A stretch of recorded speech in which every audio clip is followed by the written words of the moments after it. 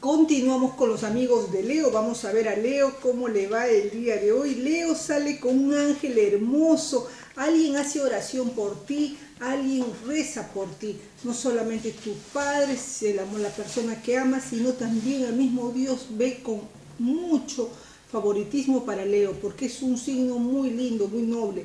Lo que sí veo es que está saliendo de una oscuridad, una etapa difícil de la cual estabas pasando. Un día donde veo que vas a sentirte amado y querido.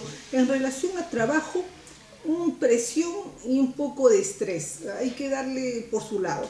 Y en cuestión de amor, el vacío. El vacío siempre quiere decir que tienes la oportunidad de cambiar lo que esté pasando mal a bien.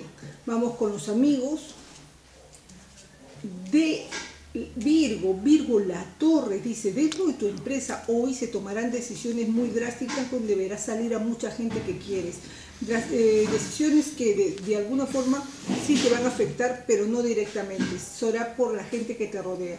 No te sientas atado, Virgo, porque veo que al final de cuentas este cambio es para bien. Para el amor, grandes posibilidades de lograr una relación firme y duradera. En cuestión de la salud, mucho estrés, descansar.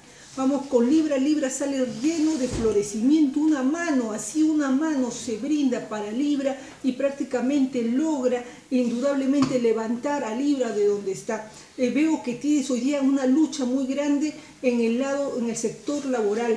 Lo vas a lograr porque sales con la carta de la plenitud aflorando todas tus virtudes. En el lado del amor, controla tu carácter eh, Libra, porque por ahí la estás regando y yo veo que los amigos de Scorpio salen con penas y tristezas. Oh my God, se apagó la, la vela y eso quiere decir como que Scorpio por ahí tendrá algún tipo de sorpresa o, o, novedad, pero de gente que no es relacionada a tu familia, sino también relacionada a amistades que por ahí van a tener algún conflicto.